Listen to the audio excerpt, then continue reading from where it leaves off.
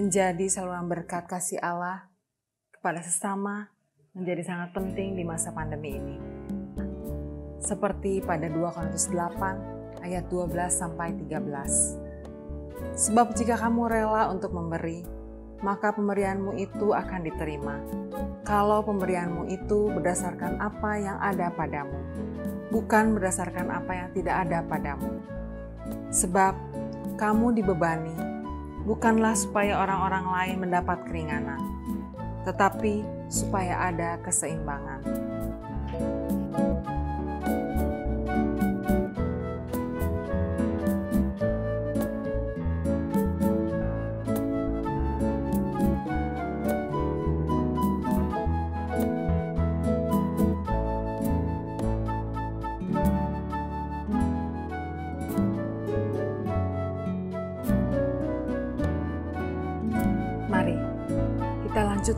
Tugas pelayanan peduli COVID dengan terus bersama-sama menolong yang terdampak, baik anggota jemaat, simpatisan, maupun warga sekitar sesama kita, dengan menyisihkan berkat yang sudah Tuhan limpahkan kepada kita dan menyalurkannya dalam persembahan peduli COVID pada rekening GKI Pasir Kaliki dengan keterangan peduli COVID ataupun menambahkan angka 19 pada jumlah persembahan yang kita berikan.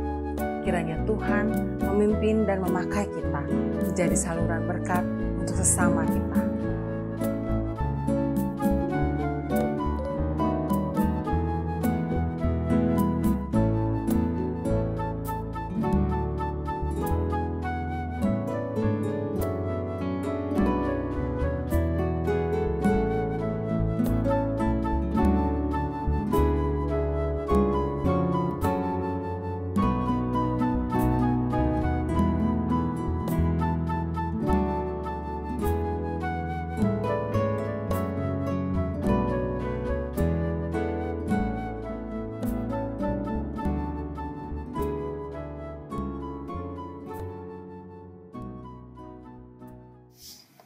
Selamat pagi jemaat yang dikasih Tuhan Yesus. Selamat hari Minggu dan selamat mengikuti ibadah di GKI Pasir Kaliki ini. Walaupun dalam bentuk virtual. Untuk itu, mari kita siapkan hati dan pikiran kita dengan bersaat teduh sejenak.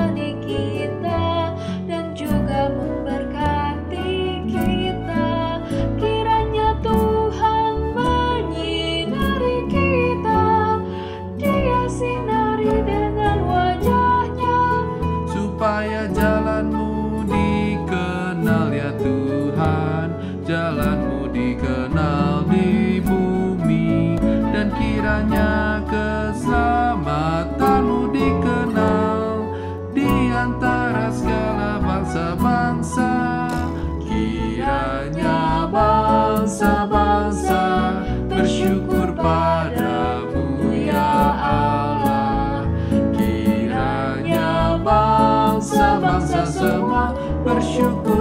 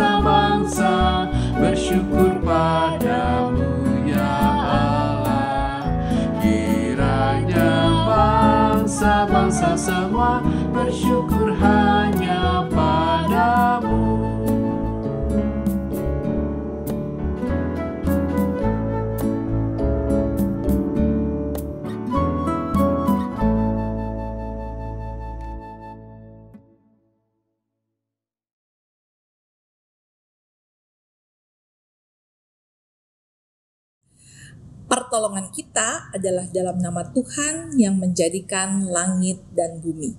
Amin.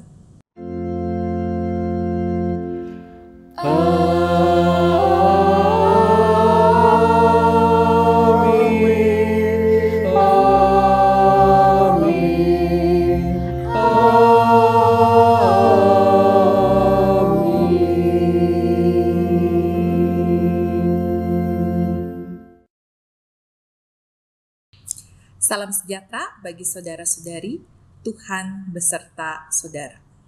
dan beserta saudara juga.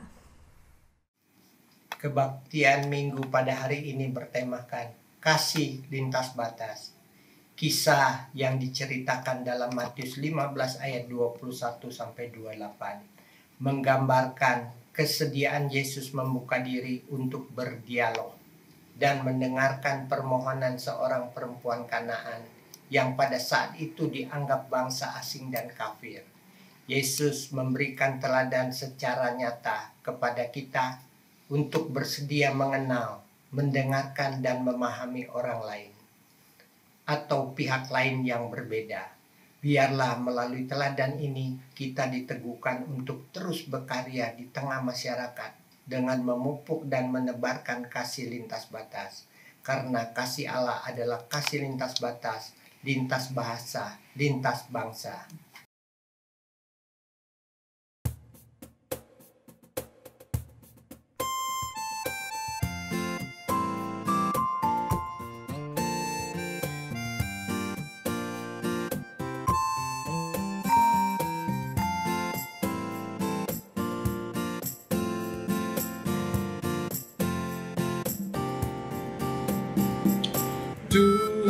Cinta semua bangsa, semua bangsa di dunia.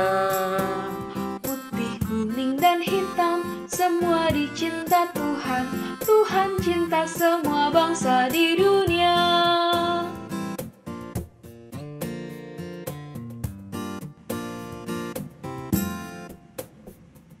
Tuhan cinta semua bangsa, semua bangsa di dunia.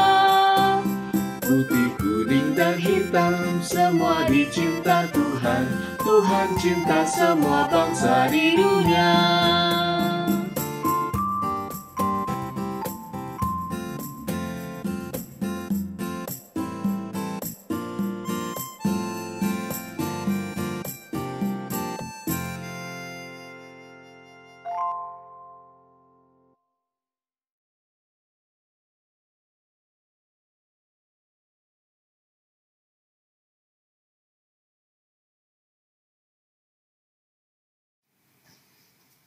Mari kita mengakui kesalahan dan dosa kita kepada Tuhan.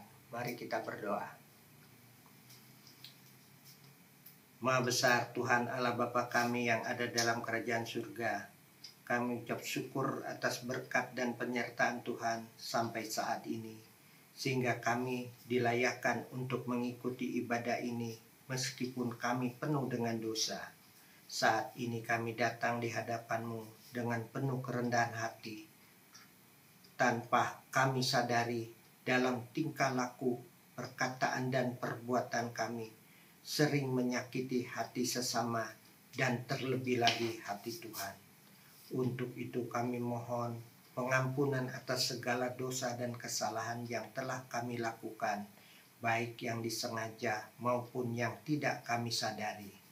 Berkatilah kami ya Tuhan, agar kami tetap berada di jalan-Mu. Dalam nama Tuhan kami Yesus Kristus, kami naikkan doa ini. Amin.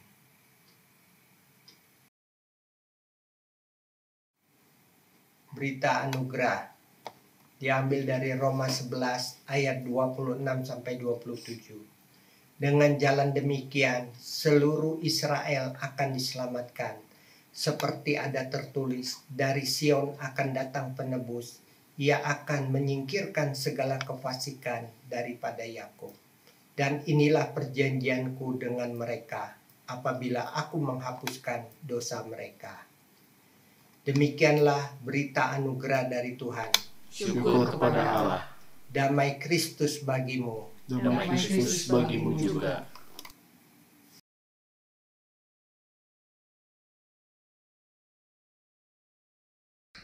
Mari kita bersatu di dalam doa. Kami sungguh bersyukur karena pada hari Minggu ini kami tetap diberikan kekuatan untuk bersekutu dalam kebaikan Tuhan, merayakan kemenangan iman kami. Karena itu kuatkan kami untuk menerima kebenaran firman-Mu, karena kami rindu firman-Mu menjadi nyata dalam kehidupan beriman kami ketika kami dipertantangkan untuk menyatakan kasih kami di tengah-tengah berbagai perbedaan yang ada. Karena itu, tolong kami ya Tuhan untuk bisa mendengarkan firman-Mu. Karena kami menyerahkan pemberitaan firman Tuhan ini hanya di dalam pertolongan Allah Bapa, Tuhan kami Yesus Kristus, dan kuasa roh Allah yang kudus. Amin. Mari kita membaca Alkitab kita dari Injil Matius pasalnya yang ke-15 ayat 21 sampai dengan ayatnya yang ke-28. Injil Matius pasal 15 ayat 21 sampai dengan 28. Lembaga Alkitab Indonesia memberikan judul untuk perikop ini perempuan Kanaan yang percaya. Lalu Yesus pergi dari situ dan menyingkir ke daerah Tirus dan Sidon. Maka datanglah seorang perempuan Kanaan dari daerah itu dan berseru, "Kasihanilah aku, ya Tuhan, anak Daud, karena anakku perempuan kerasukan setan dan sangat menderita." Tetapi Yesus sama sekali tidak menjawabnya. Lalu murid-muridnya datang dan meminta kepadanya, "Suruhlah ia pergi." Ia mengikuti kita dengan berteriak-teriak. Jawab Yesus, "Aku diutus hanya kepada domba-domba yang hilang dari kaum Israel." Tetapi perempuan itu mendekat dan menyembah dia sambil berkata, "Tuhan, tolonglah aku." Tetapi Yesus menjawab, "Tidak patut mengambil roti yang disediakan bagi anak-anak dan melemparkannya kepada anjing." Kata perempuan itu, Benar Tuhan. Namun anjing itu makan remah-remah yang jatuh dari meja tuannya. Maka Yesus menjawab dan berkata kepadanya, "Hai ibu, besar imanmu, maka jadilah kepadamu seperti yang kau kehendaki." Dan ketika itu juga anaknya sembuh. Demikianlah pembacaan Alkitab kita. Berbahagialah setiap orang yang mendengarkan firman Tuhan dan memelihara dalam hidupnya sehari-hari dengan sukacita. Haleluya.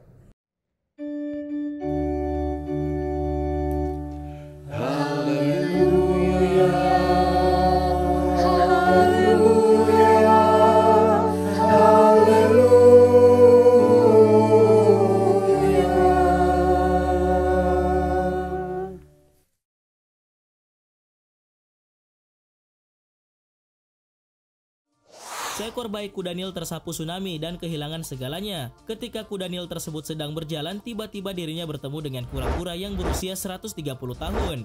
Sekarang mereka berdua bersatu menjalani hidup dengan cara yang tidak bisa dijelaskan. Memang benar bahwa bencana alam tidak membedakan antara muda atau tua, masih bayi ataupun sudah dewasa. Keduanya berenang bersama, berpelukan satu sama lain dan berjalan-jalan. Ini membuat kita percaya bahwa koeksistensi itu mungkin, meskipun mustahil, tetapi hal tersebut bisa terjadi. Seekor monyet menyelamatkan anak anjing. Selama ledakan mematikan yang terjadi di sebuah pabrik di Cina, seekor monyet terlihat sedang memegangi anak anjing untuk diselamatkan. Tindakan semacam itu tidak lain adalah bukti belas kasih, pengorbanan, bantuan, dan cinta. Itu memberikan kita pelajaran tentang bagaimana saling membantu dan berusaha menyelamatkan satu sama lain. Dari video tadi kita melihat bagaimana kuda Nil dan kura-kura begitu akrabnya, begitu dekatnya. Begitupun juga seekor monyet dengan anak anjing. Ketika seekor monyet itu diselamatkan dan menyelamatkan anjing yang saat itu tengah ada dalam kebakaran. Kita melihat bagaimana dikisahkan hewan dapat saling mengasihi, melindungi, dan menjaga. Contoh hewan yang kita saksikan tadi mau menginspirasi kita sebagai manusia di tengah kritis yang sedang melanda kasih di antara manusia. Keadaan yang kritis ini justru menantang manusia bagaimana mengasihi yang lintas batas. Pembacaan Alkitab kita pada hari Minggu ini memperlihatkan kisah Yesus dengan perempuan Kanaan. Bagaimana kita melihat perempuan Kanaan itu terus berseru-seru memohon kepada Yesus untuk kesembuhan anaknya. Bagaimana kita melihat semangat, daya juang, dan pantang menyerah yang ada pada seorang perempuan Kanaan ini, sehingga di tengah-tengah batas agama, tradisi, dan budaya yang ada saat itu, dia tidak mempedulikan karena saat itu sangatlah wajar untuk seorang perempuan tidak bisa dengan mudah mendekati laki-laki. Ditambah lagi bahwa perempuan ini adalah sedangkan Yesus orang Israel, orang Kanaan dan Israel tidak bisa bertemu karena bertemu itu merupakan sebuah kenajisan. Tapi bagaimana kita melihat justru dari kisah perempuan Kanaan ini yang terus datang kepada Yesus, terus mengikuti dia, terus berseru dan memohon belas kasihnya bagi anaknya, kita melihat bahwa perempuan Kanaan ini justru melampaui batas agama yang dianutnya. Begitupun juga tradisi yang ada saat itu dan budaya yang selama itu dijaga dan sangat dihormati. Dan kita melihat bagaimana reaksi Yesus. Yesus yang seolah-olah digambarkan tidak peduli. Bahkan ketika Yesus menjawab, "Aku diutus hanya kepada domba-domba yang hilang dari umat Israel." mau menjadi penegasan kepada perempuan Kanaan ini. Sudah, jangan dekati aku. Tapi bagaimana kita melihat bahwa perempuan ini terus mendatangi Yesus. Tuhan, tolonglah aku. Ungkapan yang dinyatakan ini membuat murid-murid Yesus menjadi kurang nyaman sehingga meminta Yesus untuk segera mengusir untuk segera membuat perempuan itu tidak mendekat lagi. Dan ini ternyata membuat Yesus dan perempuan Kanaan itu bisa bercakap dan melihat bagaimana cinta kasih dinyatakan. Dan itulah kasih yang lintas batas. Pembacaan Alkitab kita menunjukkan bahwa kasih yang lintas batas itu tidak sama dengan meniadakan batas seolah-olah tidak tahu akan batas itu. Yesus sadar betul akan budaya yang dianutnya. Yesus tahu betul akan tradisi yang ada. Yesus tahu betul akan batas keagamaan yang dianutnya sehingga tindakannya justru menunjukkan dia menghormati adat istiadat yang ada. Dia justru mau menghargai tradisi yang ada dan agama yang dianutnya. Namun justru Yesus di tengah-tengah tindakannya yang seolah kita melihat seperti menjauh dan mengusir perempuan itu, di sini justru memperlihatkan kekuatan kasih dari seorang perempuan Kanaan ini. Dan bahwa mengasihi yang lintas batas itu adalah sebuah kesediaan menerima. Bagaimana Yesus berkata tidak patut mengambil roti yang disediakan bagi anak-anak dan melemparkannya kepada anjing. Pernyataan ini bisa saja melukai, tapi justru perempuan dari Kanaan ini menerimanya. Karena itu dia berkata, "Benar Tuhan." Namun anjing itu makan remah-remah yang jatuh dari meja tuannya. Sebuah kesediaan untuk menerima. Menerima ini menjadi kerendahan hati yang ditunjukkan perempuan Kanaan. Sehingga dia terus mau mengikut Yesus pantang menyerah. Dan kita melihat bagaimana kasih yang lintas batas itu menjadi sebuah kekuatan yang mengubahkan. Dan Yesus mengatakan, "Hai ibu, besar imanmu, maka jadilah kepadamu seperti yang kau kehendaki." bahwa kasih yang lintas batas itu menjadi sebuah kekuatan yang mengubahkan meskipun berbeda berbeda karakter berbeda suku berbeda bangsa berbeda ras berbeda agama berbeda golongan justru konsistensi perjuangan yang tanpa batas ini menjadi kekuatan untuk orang-orang percaya terus memperjuangkan kasih yang lintas batas.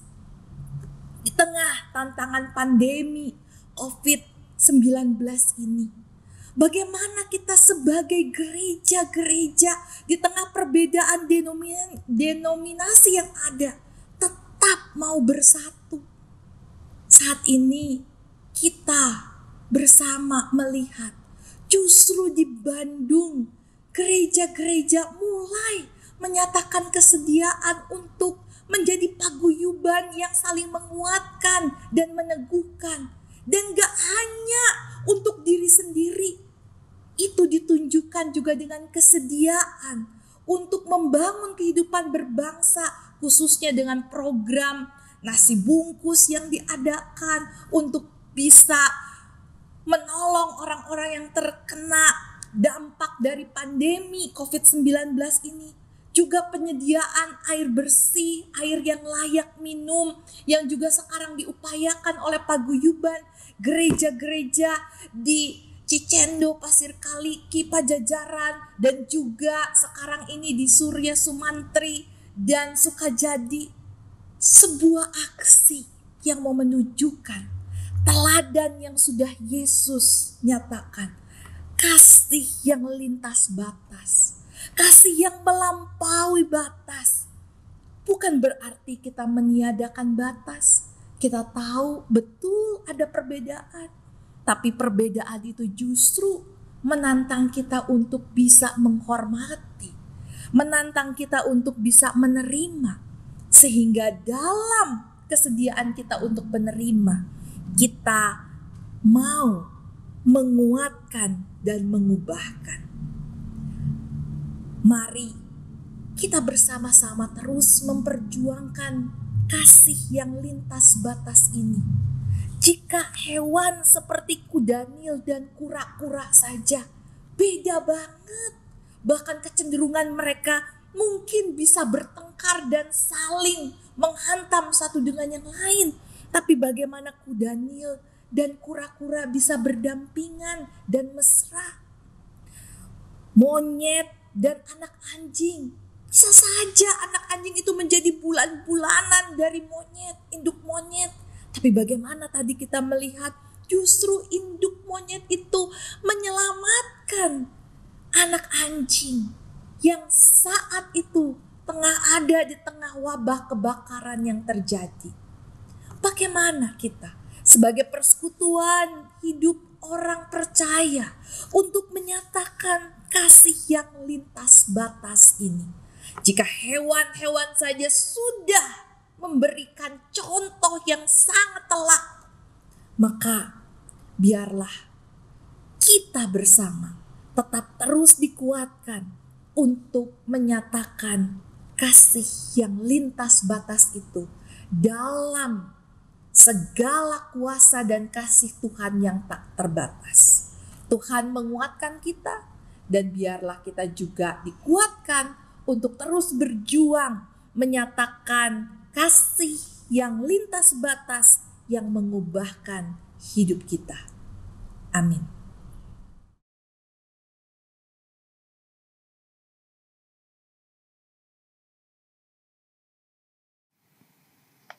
Marilah kita bersama umat Tuhan di masa lalu, masa kini, dan masa depan mengingat pengakuan pada baptisan kita menurut pengakuan iman berdasarkan pengakuan iman rasuli. Aku percaya kepada Allah, Bapa yang Maha Kuasa, Halik langit dan bumi, dan kepada Yesus Kristus anaknya yang tunggal Tuhan kita, yang dikandung dari roh kudus, lahir dari anak darah Maria, yang menderita sengsara di bawah pemerintahan Pontius Pilatus, disalibkan, mati dan dikuburkan, turun ke dalam kerajaan maut, pada hari ketiga bangkit pula dari antara orang mati, naik ke surga, duduk sebelah kanan Allah, Bapa yang Maha Kuasa, yang dari sana ia akan datang untuk menghakimi orang yang hidup dan yang mati. Aku percaya kepada Roh Kudus, gereja yang kudus dan am, persekutuan orang kudus, pengampunan dosa, kebangkitan orang mati, dan hidup yang kekal. Amin.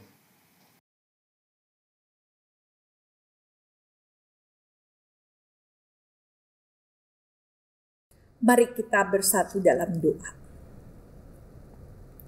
Kami rindu gerejamu terus memperjuangkan kasih yang lintas batas itu. Kami rindu ketika kami diperhadapkan dengan tantangan hidup bergereja dengan berbagai perbedaan yang ada. Kami terus mau mempertaruhkannya di dalam segala kebaikan Tuhan untuk kami berjuang untuk menerima berbagai perbedaan yang ada dalam kebaikan Tuhan. Sehingga segala kesediaan kami untuk menerima perbedaan menjadi kekuatan untuk kami terus diubahkan dalam kebaikan Tuhan.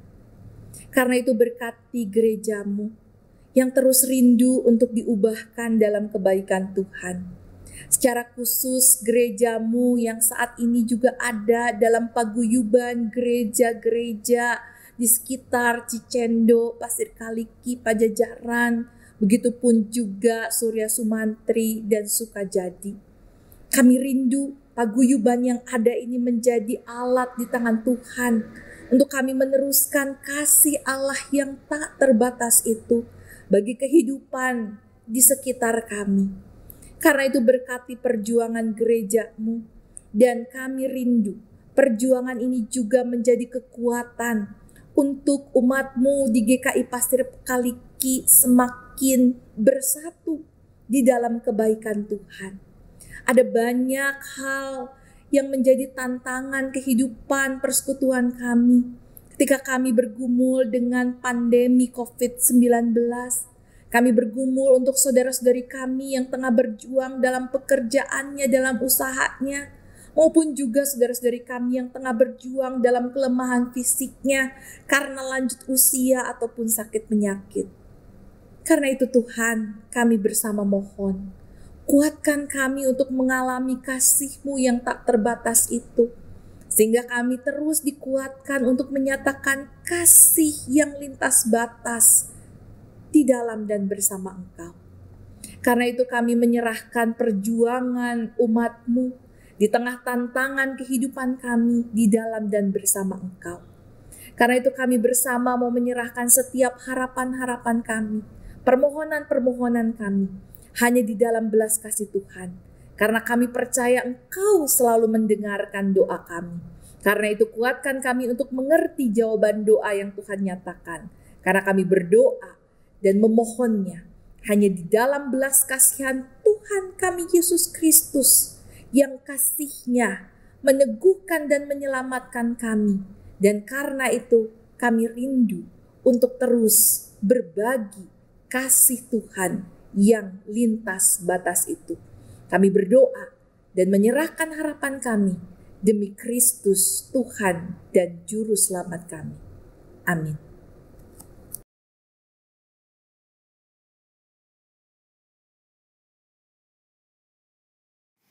Kini tiba saatnya untuk jemaat mempersembahkan pengucapan syukur.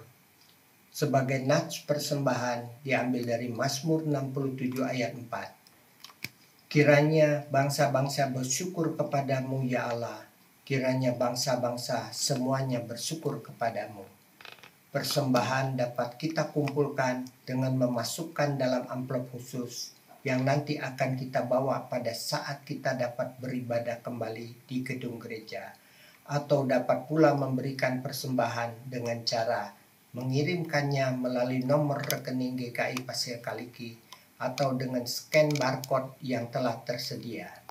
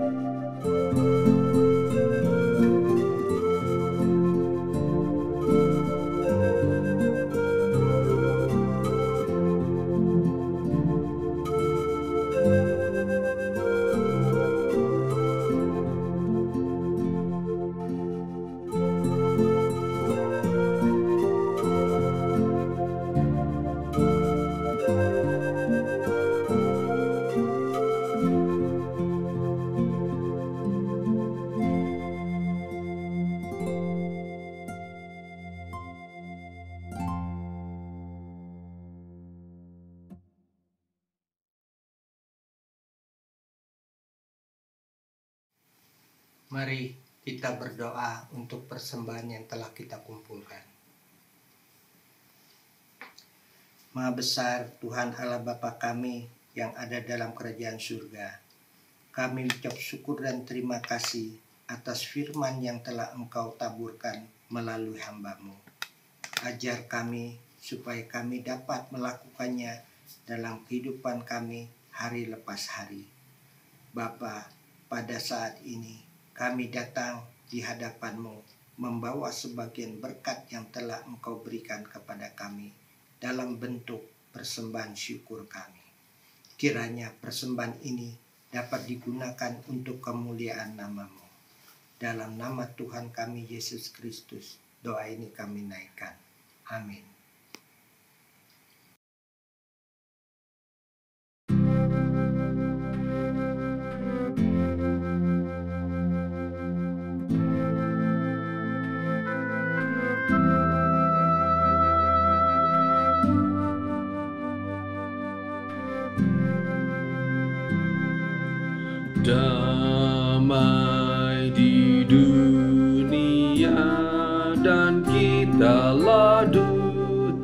Yeah.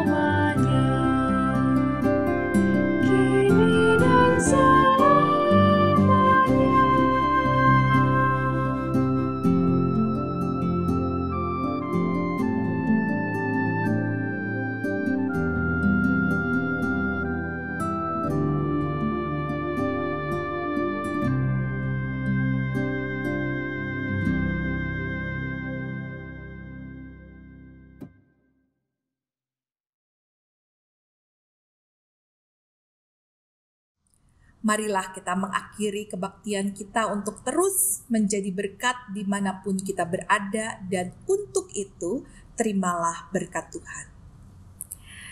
Tuhan memberkati engkau dan melindungi engkau. Tuhan menyinari engkau dengan wajahnya dan memberi engkau kasih karunia. Tuhan menghadapkan wajahnya kepadamu dan memberi engkau damai sejahtera. Amin.